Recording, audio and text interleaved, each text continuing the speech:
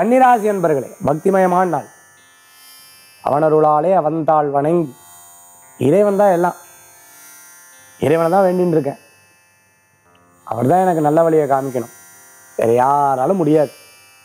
அந்த மாதிரி சதா காலம் இறைவனையே வேண்டின்னு இருப்பான். வழக்குகள் இருந்தவாளுக்கு வழக்குகளை பற்றி பயப்படணும். நீங்கள் உண்மையாக இருக்கும்போது சாதகமான பலன்கள் உங்களை சார்ந்து வரும். சொத்து சம்பந்தமான பிரச்சனை இருக்கிறவாளுக்கு அது பிரச்சனைகள் தீரும்.